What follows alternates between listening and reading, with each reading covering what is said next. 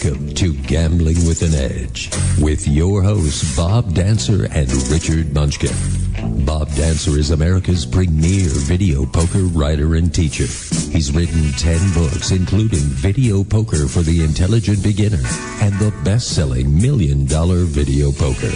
He helped develop the computer software Video Poker for Winners, and in 2004 he was inducted into the Video Poker Hall of Fame. Richard Munchkin has been a professional advantage player for over 30 years and is in the Blackjack Hall of Fame. His book, Gambling Wizards Conversations with the World's Greatest Gamblers, is a testament to the many ways you can succeed at gambling. The goal of the show is that you'll be a more knowledgeable gambler tomorrow than you were yesterday.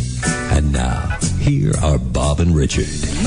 Good morning. Welcome to Gambling with an Edge. I'm Bob Dancer. And I'm Richard Munchkin.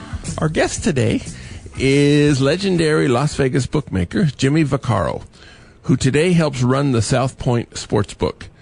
There are lots of sports radio shows, and we're not one of them.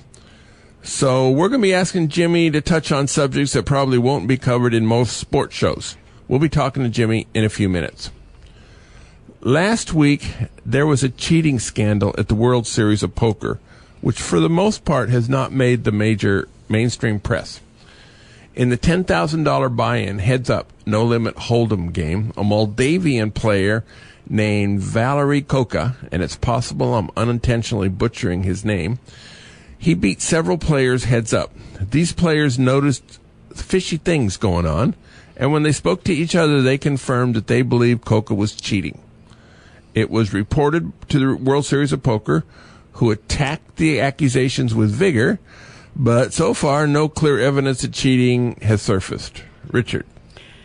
Yeah, I mean, from the reports, it sounds like the guy was actually a very amateurish uh, at, at marking the cards. So he was wearing sunglasses. He would touch the cards on the backs, switch the cards around, touch the other card on the back.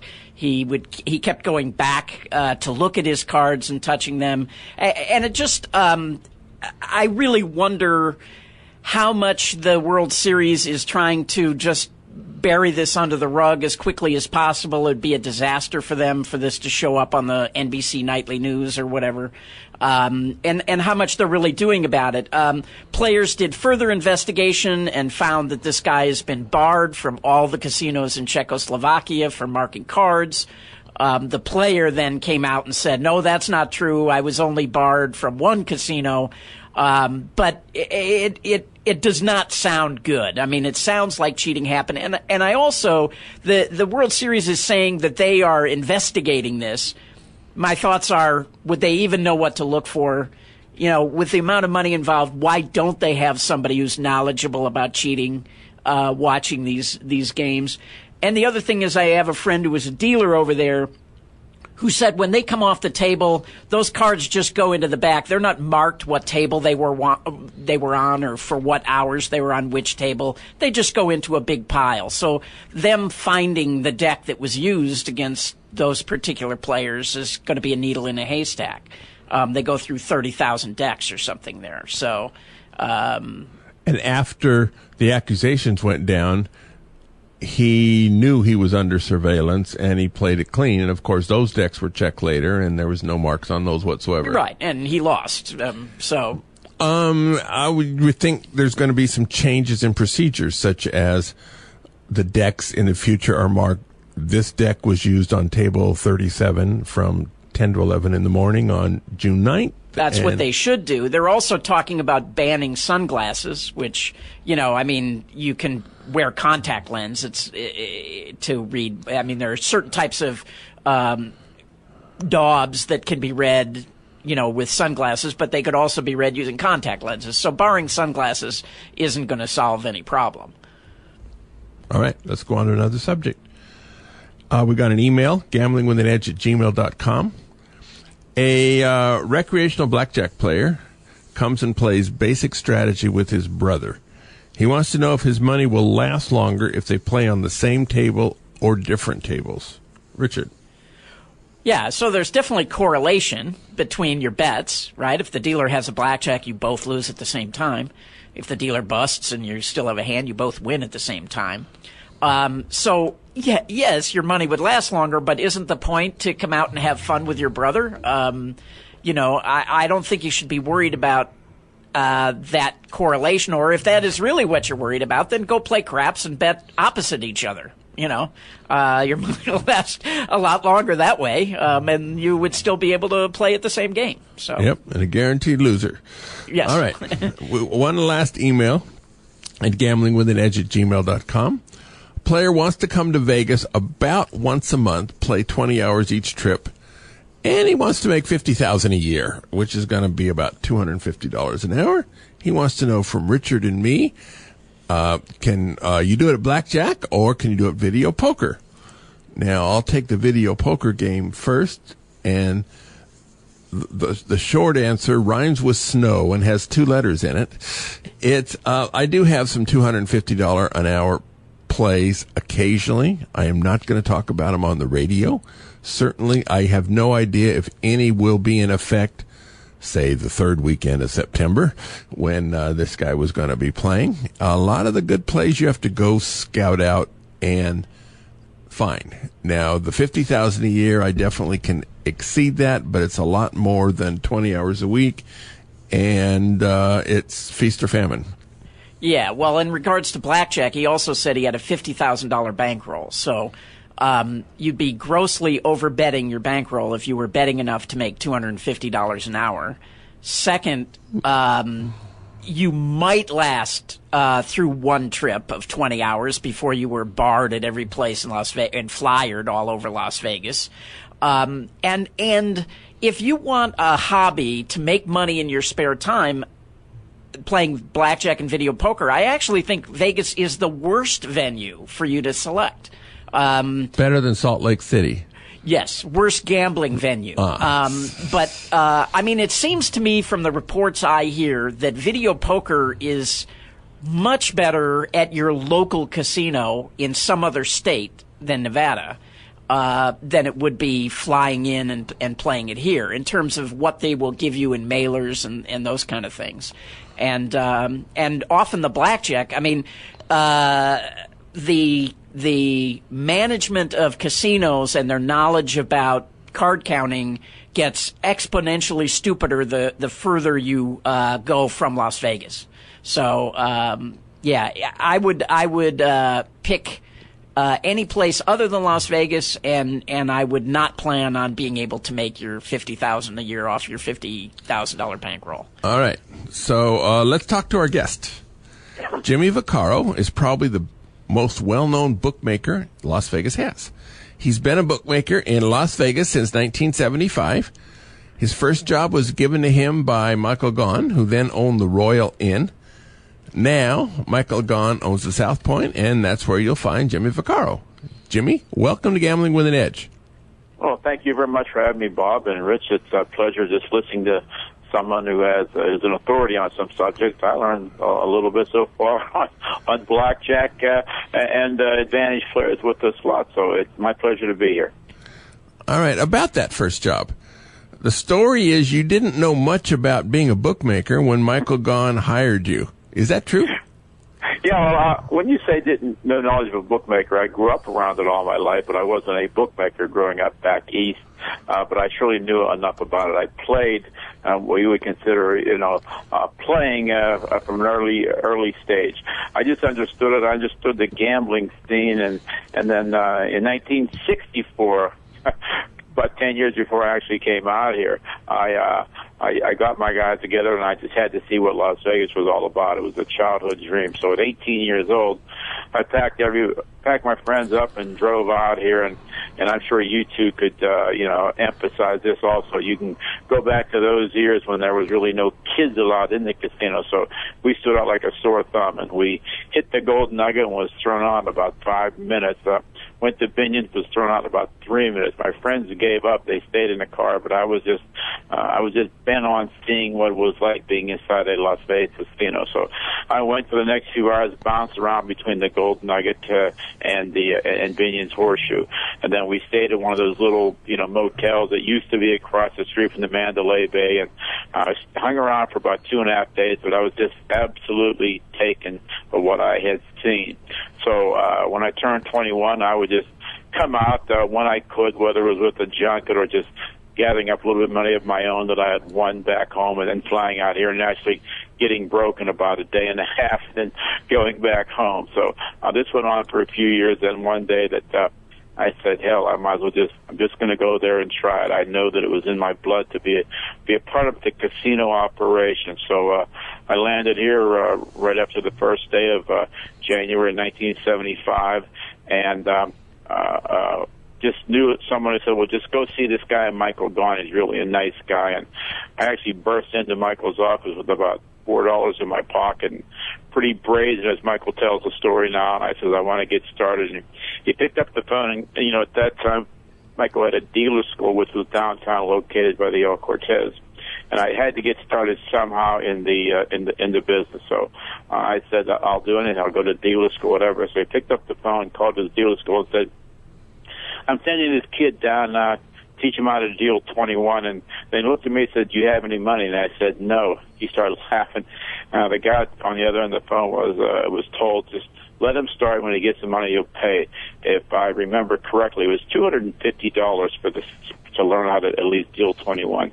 Then in those days, uh, you know, you didn't uh, actually apply for jobs. You were just, uh, you went to school, then you went and auditioned as much as you could. But remember also at the time, Michael, had the uh, Royal Inn Casino, which was located between the Stardust and and the Hilton, the convention on Convention Center Drive. So you would audition. So I, I, I went three three day three times a day to dealer school. I went in the morning, the afternoon, and I went at night. I just had to get started, so I was pretty adamant on what I what I wanted to do. So uh, after about just simply about uh, 12 or 14 days, uh, uh, you went to the Royal Inn and you auditioned. And Frank Toti, who was Michael's right hand man and still is, still is, uh, would would watch uh, the auditioning dealing, and then. Um, uh, I I I played lucky to some degree, and I went and and uh, Frank hired me as a 21 dealer. So uh, that to me was a huge break. I just had to get started. I, I you know I got my gaming card and was ready to go. But shortly after that, I want to say uh, six or eight months later, I was called upstairs, and it was Michael again, and he looked at me and he said, "Do you know how to run a sports book?" And I said, "No." He said, "Good, neither do I." He says, "We're going to start one now," and that's uh, he made me the boss of the sports book, which was, wasn't even started downstairs. We were we literally were taking bets uh, on a card table and a simplex machine and a handwritten uh, way to way to give the bets to the customers. And uh, it took about uh, not too long, maybe 20, 21 days. We had this little in the corner three ticket window operation, and and uh, that's how I got started. So you know, I really owe a lot to Michael. He, he had enough faith in me to to know that I could probably, you know, help with the bookmaking side of it. And, yeah, and why? there, why everything you? Everything else would change. Jimmy, why you? I mean, you'd only been there six months. Why? Well, you know, you know, you know, Rich. That is that's a million dollar question. Matter of fact, I just hit every time I see him. And, and wait, first of all, you know, every life is uh, challenges and choices, and sometimes you just play lucky. I knew I was going to get in the casino business. Uh, when I used to come out early, uh, I went to you know the old Churchill Downs with Harry Gordon run. I, you know, remember there was there was only two casinos that had sports books in them. That was the Stardust and the Plaza downtown. But I, I knew friends and people who uh, you know were part of the big sports betting scene, and uh, so Michael just threw friends uh, that, that his father actually hung around with that uh, this kid understands this racket pretty good. He's really young. I wasn't even 30 years old then, and uh, but be absolutely honest. Yes, it's Michael Gaughan. He could have picked a thousand people, but uh, he chose me to do it and basically changed my life forever. Mr. Gaughan's pretty good judge of character. So, uh, he's a good guy. He's uh, he's done all right with his his his guesses. All right. I would think so. Now, uh, there's been some huge scandals in FIFA, the organizing body for men's soccer worldwide. The recently reelected president has announced he's going to step down as soon as a successor can be elected. Surely you guys at the sports book knew that soccer wasn't on the up and up. How do you see soccer reform affecting the lines you're going to be putting out? Uh, well, obviously, it's, it's like everything else in life, uh, Bob, and, and, and no matter what industry you're in, no matter what you do in life, there's always going to be something or somebody trying to take advantage in, in an illegal way. Uh, it's been there since the beginning of time, but we are much better at catching these things. Matter of fact, uh, uh, that is nothing, probably more political than anything else. But yes, getting down to the, it was just like, uh, you know, acquiring money that, uh, through ill-gotten ways. And uh, what it just makes you do is just perk up your ears. Now remember, uh, soccer isn't a major income of the sports book here. So uh, when you consider what happened, uh, you know th- that money doesn't show here. That money was all played, you know, in, in foreign countries. Uh, uh, we, we, do watch a little bit closer, but but how you watch closer to anything you you fully don't have full control or full knowledge of it is simply limiting the amount that they can bet. Now, naturally, uh, with the World Cup last year, as you can see, it was like a Super Bowl Sunday for 30 days. It was very apparent uh, uh, what you saw on the field was like a leg- was legitimate. So we you, you could take higher action on all those games because first of all, uh, the turnout was unbelievable. Uh, the people who bet bet from anywhere from ten dollars to two thousand dollars on the game. When you have that type of uh, thing going on there, uh, the transparency will show.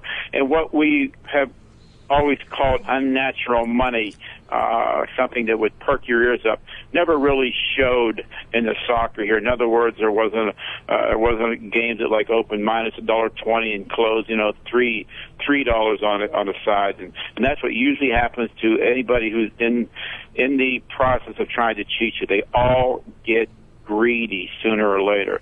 Uh, the biggest probably scandal that that we went through here in Las Vegas was 94 when Arizona State uh, uh, obviously had the players who were uh, throwing games here. And it, it was the fourth game, and we start picking up on the sense of unnatural money actually in game two. And they got so greedy by the time it was game four they had bet so much money that we just alerted uh, our compliance people, and our and our compliance people know, notified gaming control. Gaming control uh, took the ball from there. But anything, Bob, whatever it is, the greed always gets you. But it, but you know, are we more transparent now? Yeah, we watch a little bit closer. Uh, we actually, you know, uh, uh, even Nevada Gaming has stepped in. If we get things called suspicious money, if we get things called that we we question people at times we're betting large sums, uh, are you betting this for yourself or someone else? Uh, we are way ahead of the rest of the world as far as watching out for these things. So uh, remember, the last thing that a bookmaker wants, especially in a regulated process or we're here in Las Vegas, is something shady. We don't want people feeling that they got cheated out of their money. First of all, it's bad business for us. But uh, getting back to the soccer, it's not something that, that changes the course of your win or loss for the month. But but yes, uh, we all watch a little bit closer, and we'll go from there. But uh, that's the essential thing that blows everything up. Uh, I've been in, I've seen three or four of these major things start and uh, we catch them before that really gets crazy. So that's actually the way that we do it anymore. You mentioned that you you ask them, "Are you betting this money for you or yourself?" And that brings up this story, Bob. You want to about the pools? This new law about pooling the action. Yeah, last week the governor signed a bill saying now sportsbook can accept bets from betting pools. Now Correct. it's supposed to be a big deal. I don't understand it. I mean, isn't this the opposite of the anti uh, the uh, messenger betting law? I mean, it seems like those two laws conflict with each other. Well, actually, they're trying to condense them. It's like uh, instead of being a messenger better, like if you want to come, and it's going to be a little more uh, lengthy to do this than some people think it is. In other words, what you're trying to do is like get everybody together. If you want to be a part of a of a group that wants someone to bet your money, obviously, you know, to some degree, that's a messenger better also. But you will have to uh, fully disclose who you are before you even do it. You will have to fully disclose everything that, almost like the Banking Act, uh, that you have to do it. And here's the thing that uh, a lot of people don't understand why I think it's going to take a little longer to get into uh, stride, even if it gets there. Uh, let's say that, uh, let's say you guys, you know, live in New York City, and you want to be part of a group who plays plays your money for you.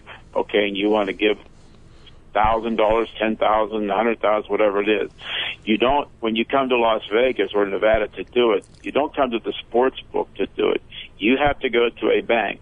You have to deposit the money just like everything else, and then you naturally you have to go identify yourself, who you are, how much money you're depositing, whatever, and then the bank transfers the money to us. So as you can see, this is going to be a long, lengthy process. It's really, uh, it's really more of, of a uh, of a process of watching where the money comes from, and uh, basically, you know, I hate to use this word money laundering, but uh, it's an easier way to keep track of things. So yes, I guess you're trying to eliminate the runner, uh, but yes, you're trying to also do it legally, and you can if you want to but it's not going to be as easy to say, yeah, I want to be part of a group. I want you to bet me a thousand dollars a game on all the games that you know that that you you're betting on or whatever. But you just can't do that undercover. You must come, and we must know who you are before it even happens. So it's going to be it's going to be interesting to see what happens. Uh, well, but, at, least to some degree, it's going to be you know something new. Uh, uh, we have to tear this wall down, and hopefully, it's just another another brick coming off the wall where uh, this thing will go legally nationwide, which I think will will take care of all the ills of stuff like this. So, I mean, if the if they could accept money from other states, so are you saying that this would allow people to gamble legally from other states by investing in this pool in Nevada if they live no, in another state? No, you no, you can't call you can't call me up uh, if, you, if you live in Iowa and say, Jimmy, I want to bet on the Cleveland Cavaliers. No, but I but if uh, but this law would allow me. Will, those people will be here who are making the bets for you. But but I could invest in it living in another state. Yes, yes, you can. Oh, you okay. Now, to, you, but but you must come to Nevada first to fill out uh, to fill out everything. Well, somebody has to come money. to Nevada. You got to you got to do that. You got to identify yourself. Okay, I see. So okay, but but I mean the problem is. Uh, you know, Billy Walters fills out the forms and says, you know, here I am, I'm Billy Walters, and then tries to go bet. Nobody's going to take that bet. Well, I'm not going to get into like you know, but I mean that's uh, that's just a personal side, and, and and whatever happens with that happens with that. I'm just telling you the legality of you living somewhere else, and you want to be, a, and you want people uh, basically to make bets for you, or just be a part of a of a group that wants uh, you know that wants to play. Uh, that's all I'm going to get into as far as like who's betting it, and where they're betting it, and what they'll accept. Uh, that's I just, see. Uh, that's truly another subject. All right, let's change gears a little bit again. Daily fantasy sports is a form of online gambling, but they're defined in such a way that officially they're not gambling, which of course is nonsense. Do you see daily fantasy sports helping or hurting the Nevada sports books? Uh, daily fantasy football, if it were legal everywhere, would would write more money on fantasy than we write on the games itself. That's how big fantasy uh, sports has got. That's another big hurdle that must uh, be cleared. Uh, there's uh, a lot of cloudy things involved in it. Uh, we all know that uh, uh, from a humble beginning uh, in the mid 70s of a, of a few, you know, friends getting together and playing fantasy football, it's grown to this forget million dollar industry. It's a, a multi billion dollar industry. Now the FanDuels and, and the rest of those outfits that do it, uh, I, I to some degree don't understand it. We we can't do it the way that they do it because basically until uh, a lot of things change here in Nevada, I won't use the word it's illegal to do here in Nevada, but it, you don't see. Uh, casinos or sportsbook jumping in there and offering this type of thing yet because it is really unclear. Now, the I guess if you want to use the word hypocrisy to other parts and people who are involved in it, you surely have the right to do so. Uh, and the and the biggest uh, and, and the biggest opponent we have naturally is the NFL. Uh, the NBA, I think, would do it. Uh, hockey, I think, would do it. Baseball, I'm sure, would do it. It would generate uh, generate more money for them. But uh, where the where all the money's at, it's in. Uh, if you could fantasize uh, what it'd be like if, uh, once again, if you lived uh, out of the state and you could send in your fantasy team every week, it is a unbelievable business.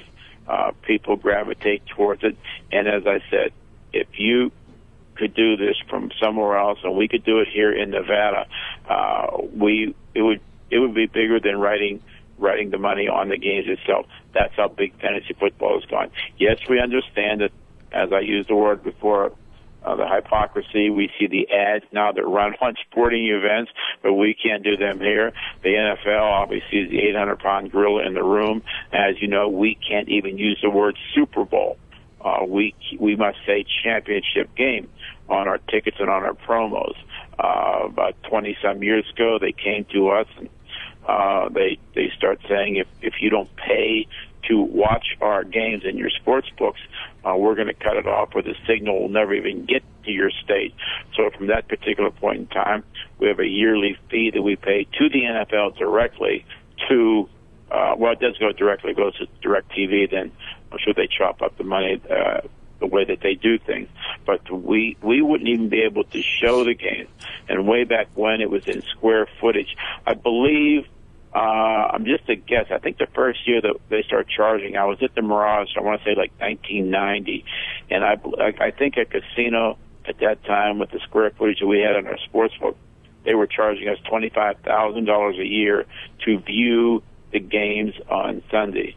Now uh, that figure has gone up five, six, seven, eight, ten times since that point because uh, they got us by they got us by the, the whatever you want to term short uh, curlies. if, yeah, if we don't if we don't if we don't pay it and don't have the games, well, that's silly because everyone else will walk across the street to watch a game. So whatever they want to charge, they're going to get away with it. But uh, the but fantasy such thing hypocrites. now it's huge, and I, I hope someday that we can uh, book it like they do here and offer huge cash prizes. It would be phenomenal.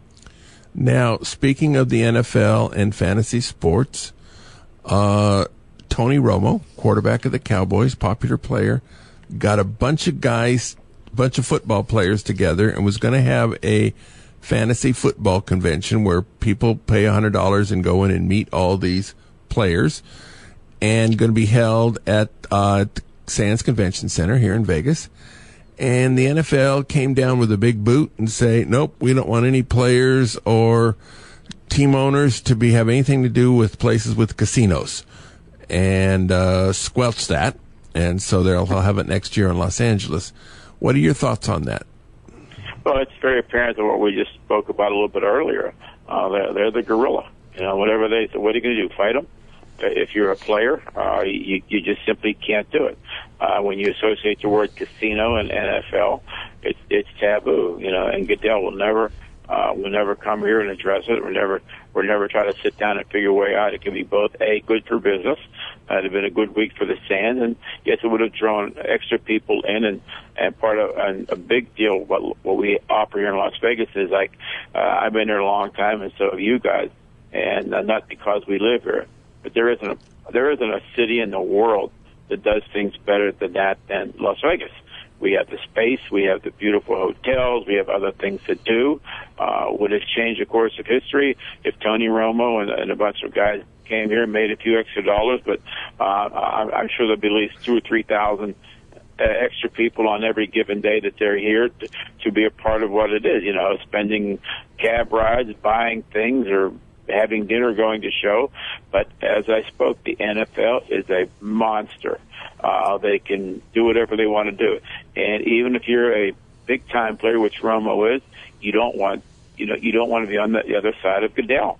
So that's just the way it is. But End the NFL, story. the NFL has to know that gambling drives their popularity. I, I just don't get it. Like, what is it that they're afraid of? Well, it's very apparent. You know, you said it. We all know that, but they do it. So it, uh, they're afraid of. Uh, they're afraid of nothing. That's what it is. They just say that's the way it is. They keep they keep going back to use the word integrity of the game. I mean, so that's always their ace in the hole. They never really explain it, and and forget about fixing an NFL game. Do you understand that that uh, well, nothing in the world is absolute, but that is as close as you can get to absolute. What are you going to offer Tony Romo Yeah. to like you know have three interceptions in a game? That's an impossibility, but it's very simple.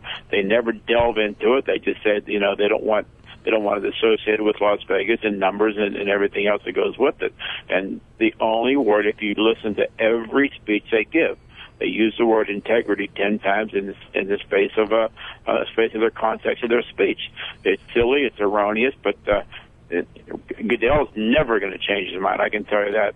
And this is just hypothetical because I surely have no information the same as everybody else. But the only way it's ever ever going to get to point B is simply is the is the NFL gets a piece of everything that that uh, uh, every legal book in the in the world does. If you want to book it, uh, that's the only way that I think it's ever going to get to phase two. Is it still comes down to money? Can they make money doing it? And I think that that's the only thing. That's not going to happen overnight. Uh, we have uh, we have a person in Goodell who's uh, a staunch. We have a person in Goodell who obviously. Well, what did I see? I saw the figures from from last year. The NFL netted uh, the whole industry netted 9.5 billion dollars.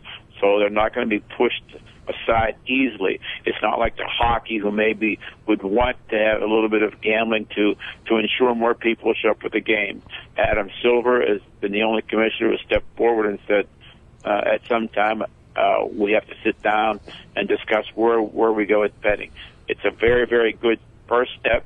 Uh, obviously, he's a very powerful man, but uh, uh, it, it'll never it'll never get to where we want it unless uh, football is involved.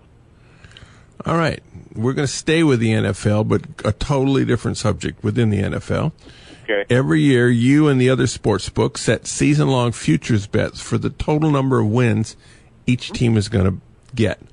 For the Yep. New England Patriots and the uh, the teams they face during the first four games of the year, whether or not Tom Brady's four game Deflategate suspension is reduced on appeal definitely affects the odds on the Patriots winning those games. Correct. Now, you're setting the line. You have to make an educated guess as to what's going to happen on the appeal. Now, for me, based nothing more than a wild ass guess, my crystal ball says the suspension will be reduced to two games. What does your crystal ball tell you? Well, I'm probably with you on that one, Bob. I think it's going to be reduced, but uh, the protection that you have if you're running a sports book is you simply uh, you you take that particular bet down until you find out exactly what it is. Obviously, two games, four games, one game, no games would make a uh, would make a big difference uh, on booking uh, uh, how many wins and losses that the New England Patriots has. Uh, right now, be, before this all started, uh, New England Patriots were uh, you know about a ten and ten and a half win season over or under at that number. So, like I'm saying, uh, there, there's no sense guessing. You take the guesswork out of it. And I believe uh, uh, most people have taken the, that proposition down. We at the South Point have. Uh, educational guess if uh, it came out a two game suspension, uh, you wouldn't see it move that much. You would say you would see juice moved on it. In other words, let's say if, if it was ten and a half under minus a dollar fifty, you might see you know ten and a half under minus two dollars. Because uh, remember uh, what what the Patriots have going for them. Uh, this isn't something that like happened on a Sunday. Then next Sunday Brady's not going to play. Uh, they, whether he, whether he plays or not the first game, uh, we know Garoppolo is not the quarterback as Brady, but they they have all summer, and you have Belichick, and still have a Super Bowl winning team. So uh, that's not going to change too much. Uh, the odds on the first game will, but uh, the only trick when you change drastic changes is if it happens Sunday night and they play, you know, uh, next Sunday. But in this case, they have uh, they have 90 days actually to come up with a game plan with this kitty quarterback. So the two games won't mean much. The four games uh, uh, makes them. It's about pick 'em to win that division uh, with probably the Miami Dolphins. They'd still be a favorite over the Dolphins, but they'd be a favorite over everybody in that division. But the odds would be less because four games is literally what it's uh, One fourth. you know, twenty percent of the season. So uh, that that's a big deal. So we'll see. And, and nobody likes New England everywhere, and uh, you know the only chance to beat these guys maybe would be is like Brady not playing the first four games. Interesting, but you know the the guy under the blanket is Bill Belichick. Uh, the guy's crafty. He understands, and and uh, again. They won the Super Bowl, and yes, Brady was a huge part of it, but it's still a very, very good football team. So, change, yeah, depending on what happens. I think it's reduced only because uh, I think that uh, Goodell maybe just throws out an olive branch to uh, to Robert Kraft and uh, you know, listen, uh, take two games and go home. Uh, possibly that. Uh, you know, not, not going to. It's not going to be less. He's not going to. They're not going to say, well, okay, we're taking everything away. Uh, we're going to fine you five million dollars in your first two draft picks in the next couple of years. That's not going to happen. Uh, Brady will not play in all 16 games this year. Now, you say you took the game off the books. Would you ever do it just by juice? In other words, if a normal spread, and I'm, I don't know what the spread is on futures, of maybe 30 cents between betting the over and betting the under, making Right. it 50 cents or 60 cents because of the uncertainty. What, is that an option or is that ever done? Yeah. Yeah, it's just uh, maybe the easy way to let's say let's say before all this stuff happened, uh, it was ten and a half wins for the season, minus a dime on both sides. It's basically a pick'em situation. So if you uh, you were you went to the window and says I want the Patriots over ten and a half wins, and you'd have to like a straight a pick 'em bet. You give me eleven hundred to win a thousand on the under because you think the Brady thing is going to hurt the team. They're not going to win eleven games. Okay. Now let's say I say okay, I don't want to go to ten. I'm just going to go to ten and I'm going to keep it at ten and a half, but I'm going to make you pay a dear price. So I may make you lay if you want to bet the under, you're going to have to have to, have to lay two thousand to win one thousand. You know, with the ten and a half, and if we adjust it way to the under, uh, you would have to lay a bigger price if you wanted what you would perceive as an advantage player. You're getting the New England Patriots under ten and a half games, but you're not just skating on uh, laying a dollar ten. You're to have to put up a lot of money uh, to win uh, to win your bet, only because uh, we know Brady won't be in that game. How do you, you you mentioned advantage players? How do you deal with advantage players? I keep them all in front of me. I want to know what's going on. The so-called advantage player or wise guy, whatever it is. A lot of a lot of sportsbook have uh, have ways that they run their book. Uh, I've always contested that. Uh, you know, I don't want. I I've never barred anybody from betting. Uh, I uh, I respect their play. I respect their play probably uh, more than maybe some other people do. I'm very conscious who who who, who I would consider, you know, someone uh, smarter than me in a situation. So I've always learned from those people. So the term that I've always used in the past 40 years is like I want these people in front of me as opposed to behind me or sending someone else in that I don't know. And but with that goes, uh, you know, uh, goes stipulations that uh, uh, there's an understanding. You know, if uh, these are the rules that I want you to abide by, and uh, this is what if we can do this, we're all happy. You know, I, I don't want to just kick people out because they're smarter than me. I've always contended that people who are smarter than me going to make me smarter somewhere down the line. But there's always rules that that you want to put out there, and uh, I've never had a problem with a player uh, who directly came to me and said, "Jimmy, you know, I, I want to do this. How much can I bet?" and and um, he's kept his word. I've kept my word, and through thousands of those players in the last 40 years. So uh, I, I just have a little different feel. I, I can see why some people don't want these people around. They're basically, you know, uh, uh, they don't all win all the time. I've known so-called wise guys who are dead ass broke. I also know guys who started with nothing have a pretty good bankroll and they're pretty effective in what they do. Uh, it's just simply a feel and understanding of, of the racket, and uh, that's the way that I like to do it. Doesn't mean anybody else from any other casino. They they run their book the way that a they want to, or b that uh, you know associated with the people upstairs. Uh, I, I've been relatively fortunate.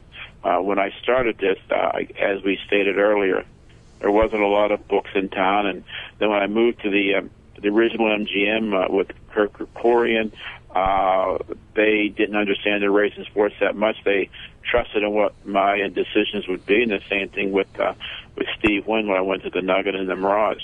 So I came I came upon the scene, if you may say it that way, in an era where uh, the upstairs people had really had to uh, believe in the guy in the sports book because they didn't know too much about that part of the industry. So I played pretty lucky with that. So, but getting back to your original question, uh, I don't I don't like to bar anybody. Uh, if they're a 58% winner, uh, you know, and and I can utilize why they're making that bet, and maybe I can benefit the book by uh, a sometimes getting on the same side that they do, or b more importantly, know where I can get off of a game because I know what they're looking for. So it's something that, as you two would know, just being around it, it's just it's just a feel of an understanding of what the hell you're doing. Now, good. Let's let's move on again. Okay. In theory, each um, sports books try to have each side uh, laying a, a one ten, uh, to, to one ten to earn ten, and so if if you can get each side the same number of millions of dollars on both sides, then the book is guaranteed to end up a winner. Now, it's got to be real tough to do in practice. And my question is how often does the book take an intentional line, such as A position. a position, meaning, uh, let's say you think the Cowboys are a little bit better than the line, and so your book is going to be a half point different than the other books in line, and you intentionally take that kind of a position. How often does that happen? Uh, not as much as people believe it does, but uh, it's very simple. And I've said this uh, ever since I, you know, I felt that I understood what the hell was going on with this racket. Is simply my opinion is worth one bet. So if everybody in town has uh, sends a line out at, uh, uh, you know, Patriots minus six, uh, I- may put it up minus five and a half or plus six and a half, and then you know take a bet on either side of that.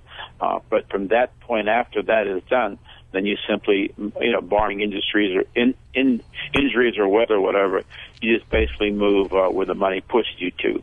But any big time bookmaker I've ever known or been around is like simply you put the first number up and you see where it goes from there. And I've always said uh, my opinion is worth one bet. So if I favor the Patriots and uh, everybody else got the game six, and I favor them a little bit, I'll make it six and a half, knowing that I'm going to get a, a bite at plus a six and a half, then then go to, uh, then go to six with the game, and that. But, from that particular point on, 95% is driven by you know where the money comes in.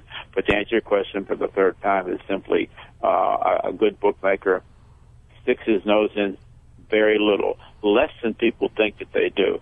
Uh, so we just like said, drive, drive the drive the money and drive the number wherever the money shows.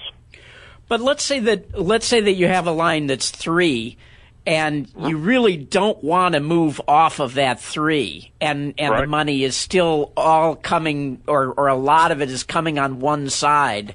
I mean, Right. are, aren't you sometimes forced to to to end up with a position because you because you don't want to move off that that particular three? You're dead on right. You're absolutely right. Yeah, the, the number that scares everybody that's booking the NFL is because obviously the, the three is the most prominent number. It shows, uh, I think it shows seven percent of the time, which uh, doesn't sound like a lot, but it's a lot.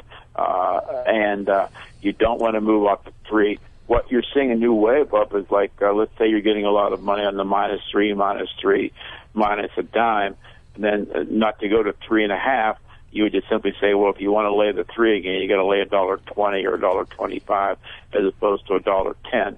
Uh, that's basically what what you're seeing it just about every every place in uh, uh, every book here in Nevada. But the the only difference is at the South Point, Michael Gaughan. Uh, the only thing he's ever told Bert Osborne, uh, the director there, is like he doesn't want to do that. He feels it's a little confusing to the customer. So you're right. We take a bigger position uh, on the minus three because uh, we don't go to three minus 20. Uh, If we want to get off some of that money, we just simply go to two and a half or the three and a half. Yes, there's liability there if the game falls three, but that's just a personal decision. Uh, uh, uh, Michael doesn't want to confuse anybody, and at times it can get a little confusing. But uh, 99% of the books uh, now utilize moving the money instead of the number. But uh, there, there, you have to be careful with that uh, uh, on which way you move it. Now you can utilize a you know, maneuver with your money line a little bit instead of going off the three. But you're you're 100% correct. Sometimes you're just forced to do it, in which we are. Uh, we hold. Put it this way: if we have X amount of dollars that we want to book on a particular number, you know, we stay there. But if, if we get to uh, probably three times more than uh, we know we wouldn't take if we moved it if we moved it to three and a half, then we do that also. So a, a little bit of a game, but uh, you know we do it a little bit different. But it doesn't make our way better or worse than anybody else. It's just the way that uh, you know. In this case, Michael Gaughan wants it, so naturally, whatever he wants, uh, we do. 25 years ago, this week, Buster Douglas became the only man to beat Mike Tyson in a professional fight. Yeah, Now, three months later, he had a fight with Evander Holyfield. correct. Now, Jimmy, I've heard that you have a very interesting story about this, about the Douglas uh, Holyfield matchup, and we got about four minutes. Do you have a four minute story? Oh yeah, it's uh, first of all, I was the one who put odds up on the Tyson Douglas fight when he lost. Opened that fight up twenty-seven to one, Tyson the favorite, and that went to uh, uh, 40, 40 to one, which is the number you see everywhere bandied about when the story comes up. So after the big upset came, uh, Steve Wynn wanted to get involved to some degree in in uh, uh, booking uh, or, or signing a three-fight deal with uh, Evander Holyfield. So uh, remember, he beat Douglas. Uh, he beat Tyson in February, and then in November, I think it was late late October, early November. Uh, the big fight was Holyfield and uh, uh, and Douglas was going to take place. Uh, Douglas trained at the at the Mirage for six weeks leading up to the fight. And one quick story, I remember we're going to uh, San Francisco to promote the fight. It was during the World Series, and there was two private planes. One had Holyfield on, and one had uh, Douglas on. I was on the flight with Douglas, and uh, there was all this food that was in, being served as we were flying up to San Francisco. I can only tell you Douglas ate it all. That's for sure. so, so when we got the back, uh, you know, Douglas never took his his sweat uh, sweat top off when he was training in our rooms we had at the Roger. Never took it off. When we went to the fight, uh, we went to the pregame weigh-in uh, when he took his sweatsuit on, everybody saw how fat he was. Lou Duva always went, almost went crazy. He clocked in at 256 pounds. He had uh-huh. fought uh, he fought Tyson earlier at uh, 229 pounds. So uh, he ate his way out of the championship, got knocked out quickly. Steve Wynn wasn't very happy with it, ended that contract, and uh, that was the end of the story. Uh, Douglas never, never, never recovered after that. Wow. All right. Uh, we've been speaking to Jimmy Vaccaro, uh, legendary bookmaker here in Las Vegas. We have a ton of other questions for you. We don't have any more time today. We okay. uh, would love to have you back again if you can fit us in. It was a pleasure listening to a master okay. at his work. It's my pleasure, and I'll be uh, at my old age now. I got to take a. I need to recharge. So I'm going to take a, a, month off, and uh, uh, we'll catch up near football season. Ah, wonderful. Perfect. Thank you very much. All right. See you guys All later. Right. He's a pleasure. Yeah. He's a pleasure. And, um, all right. So uh, let's talk about some commercials. Uh, South Point has more than 10,000 games, returning more than 99%. This is more than anybody else. In June, they're giving you two and a half times as much as your normal free play if you come in enough if you usually get $50 a week or $200 a month, this month, if you pick up the $50 on a Monday through Wednesday, you'll get an additional $50 Friday or Saturday the same week.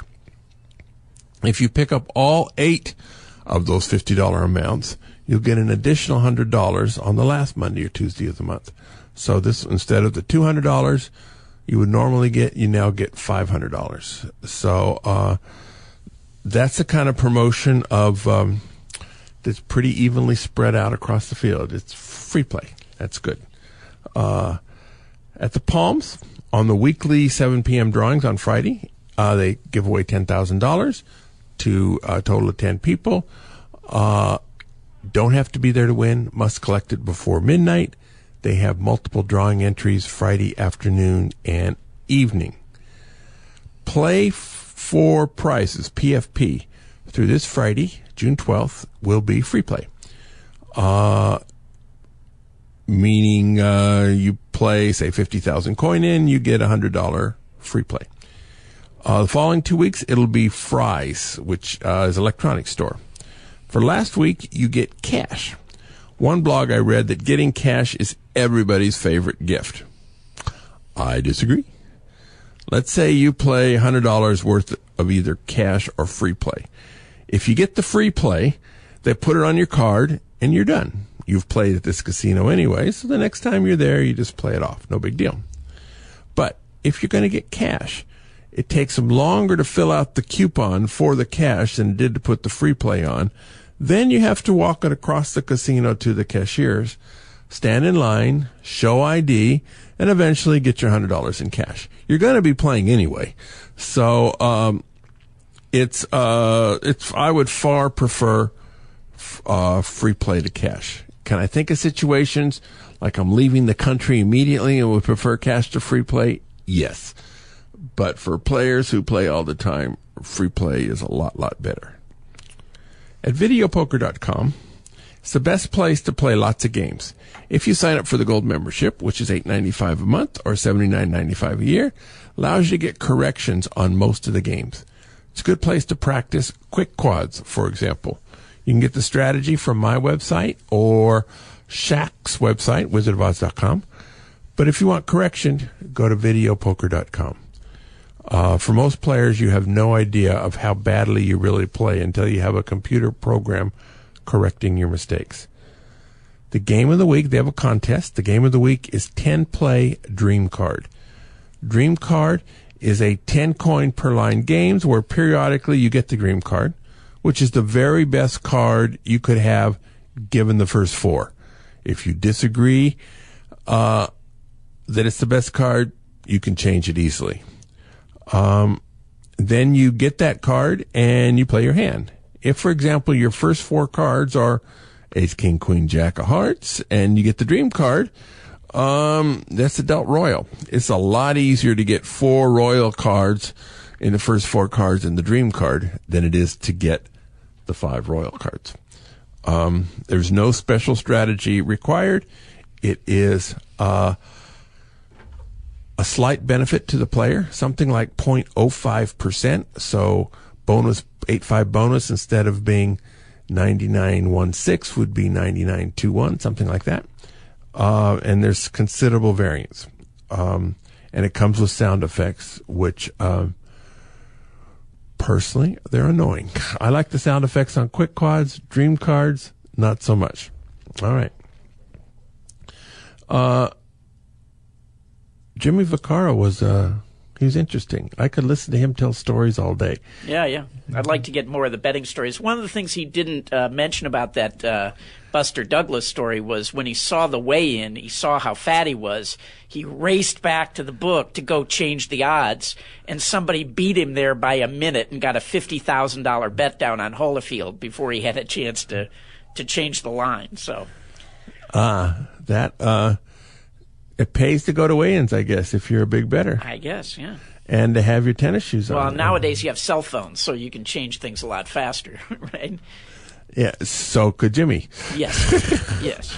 All right. So, uh, Richard, if people wanted to get old shows, how would they do it? Uh, well, first of all, we welcome your questions. Uh, we we encourage you to send us your questions at gamblingwithanedge at gmail.com or facebook.com slash gamblingwithanedge or you can uh, tweeter them at me at RWM21. Um, if you want the shows delivered to you automatically every week, you can sign up for that at YouTube, iTunes, Stitcher, or at richardmunchkin.com.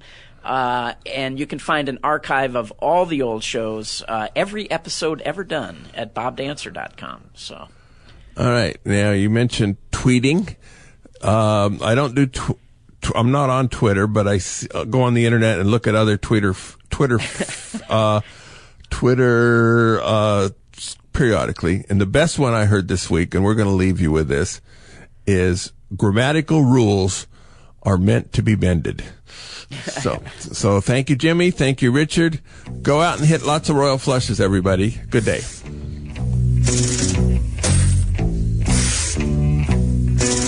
You've been listening to Gambling with an Edge with your hosts, Bob Dancer and Richard Munchkin. Subscribe to the show in iTunes, and episodes will be delivered to you automatically every week. Archived versions of past shows may be found at bobdancer.com and richardmunchkin.com. We welcome emails at gamblingwithanedge at gmail.com. Bob Dancer and Richard Munchkin are both available on Facebook and welcome your questions. The sponsors for the show are the South Point Hotel, Casino and Spa, the M Resort, the Palms Casino Resort, and the website videopoker.com. Join us again next week for another Gambling with an Edge. Money!